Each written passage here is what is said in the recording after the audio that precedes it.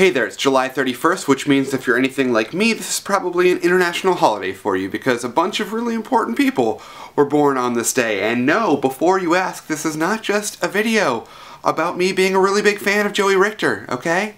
Calm down. Calm down. No, of course, one of my favorite heroes from all of literature was born today. It is a very important day for that reason. Of course, happy birthday to Neville Longbottom, the most badass Bamfy, Gryffindor, Bamf. Bamf.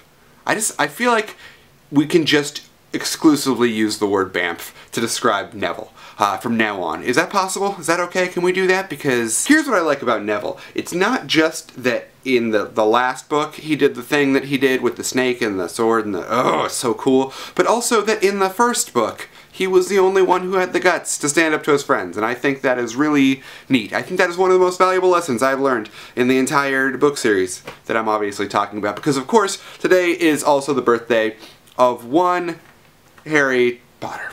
Harry Potter! Our new celebrity, the boy who lives. So happy birthday, Harry! Happy birthday, HJ, as we call him on the schoolyard. HJ Potts. That's what we called him.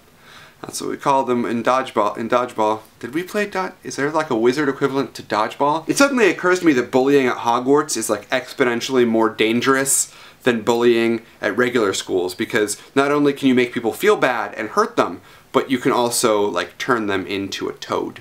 Which I mean, Malfoy, you deserve it. You ferret. You stupid ferret boy. But most importantly, today is the birthday of the person that is the reason why Harry Potter exists, why Neville Longbottom exists, and that is one J.K. Rowling. So happy birthday. Happy birthday, J.K. Happy birthday, M Mrs. Rowling. Miss Rowling. I never know, I, I don't know what I would call her if I had a conversation with her. Hey Jo, you're swell. Can we be best friends? Happy birthday, and to everyone in the comments of this video that is calling me out for not knowing that Neville's birthday is July 30th. I, I know, I was just, I was making a joke for the purpose of the vid of the video. I was just, I was in a band about Harry Potter. I know. I know this stuff. I will have a new video for you guys very soon, which will explain why my face is the shade that it is. Uh, but I hope that you're having a swell day, and until then, keep each other safe and keep faith.